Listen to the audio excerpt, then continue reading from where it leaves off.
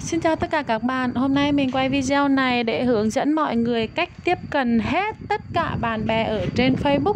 Như các bạn đã biết thì ví dụ như nhá, Facebook của các bạn là Đây, ví dụ như Facebook của Hà là 4.988 bạn. Mà các bạn biết là không phải là 4.988 bạn này đều nhìn thấy bài viết của các bạn. Vậy thì làm sao để họ đều nhìn thấy? Và làm sao để tiếp cận hết cái list bạn bè này? Và làm sao để biết chính xác mỗi người họ like bao nhiêu bài viết của các bạn và comment bao nhiêu bài viết? Thì hôm nay ở trong video này Hà sẽ cho mọi người thấy. Đó là bằng phần mềm Inbox FB của công ty Zila Việt Nam các bạn mở phần mềm ra. Đăng nhập bằng tài khoản mà các bạn đã đăng ký với Hà. Các bạn mở công cụ ra. Các bạn để ý sẽ có cái phần lọc tương tác, đúng không ạ?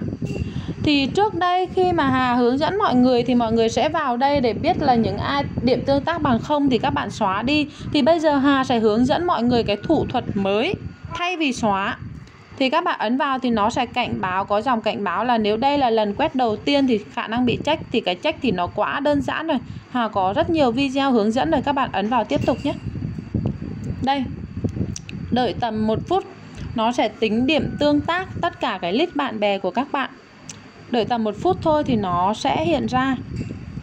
Thì sau khi mà nó hiện ra được cái điểm tương tác rồi thì các bạn để ý nhá, đây là những người thường xuyên tương tác với các bạn thì nó sẽ hiện ra đầu tiên. Vậy làm sao để lộ diện khách hàng có điểm này bằng không này, những người này bằng không không không này. Đó, thì đây các bạn sẽ để ý nhá, có ấn, có nút mũi tên trên xuống ở trên phía góc phải màn hình này. Các bạn ấn vào đây. Đó, lúc nãy là thứ tự đang giảm dần theo số điểm và bây giờ là tăng dần theo số điểm à, điểm bằng không là những người bằng không sẽ xuất hiện đầu tiên. Đó vậy không? Các bạn thấy không? Thì những người này là những người không bao giờ tương tác với các bạn. Phải bây giờ nha các bạn sẽ tích vào chọn vào họ nhé các bạn sẽ tích vào chọn vào họ.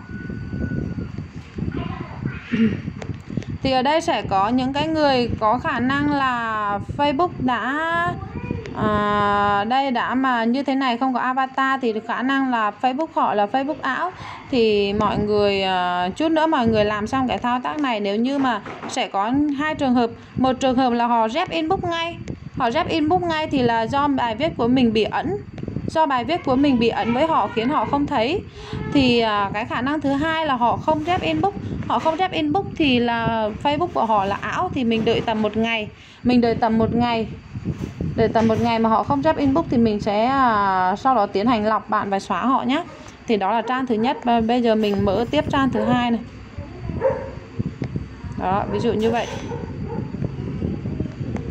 Thì đây nó sẽ chia thành các trang. Thì các bạn muốn mà muốn gửi uh, một các bạn lần đầu tiên thì gửi tầm à, uh, 50 người thôi nhé các không nên gửi nhiều đâu. Hà chọn như thế này cũng khá là nhiều rồi.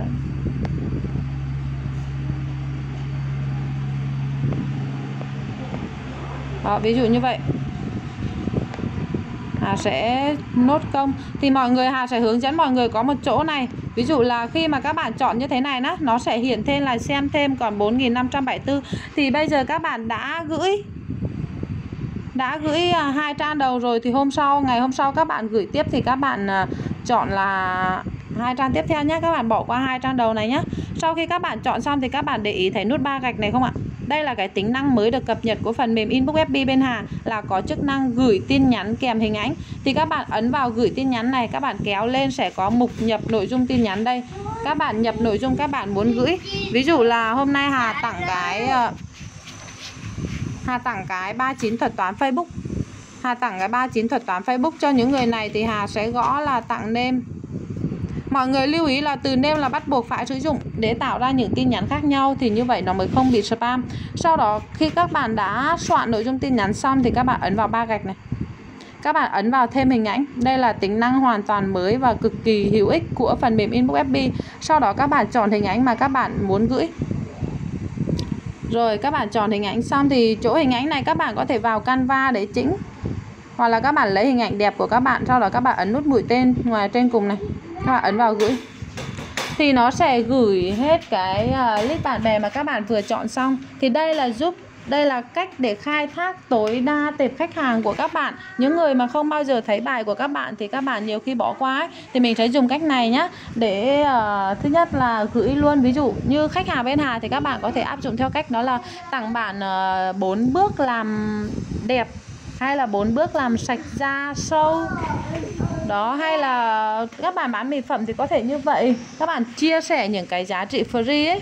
Thì nếu như mà người ta ờ, rep cái tin nhắn này lại tức là người ta muốn nhận thì đó sẽ là khách hàng của mình. Các bạn ờ, khéo léo tiếp trong cái cuộc trò chuyện đó. Hay là các bạn đăng bài ở những nội dung sau đó thì họ sẽ thấy.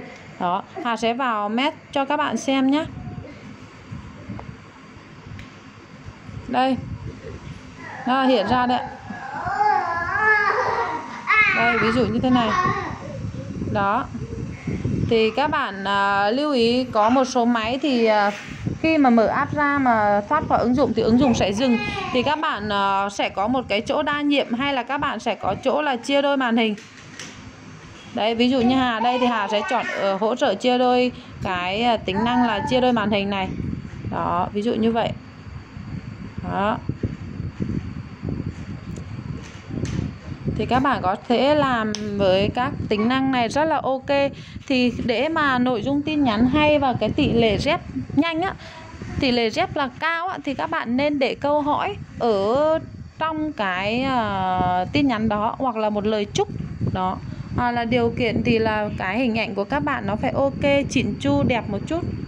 Rồi vậy là Hà đã xong cái video này nhá. Thì ở cái mục uh, phần mềm inbox FB này nó có nhiều cái tính năng hay nữa cái chỗ gửi tin nhắn thì mọi người có thể gửi theo tệp và có chức năng là quét khách hàng theo địa điểm rồi quét khách comment cảm xúc.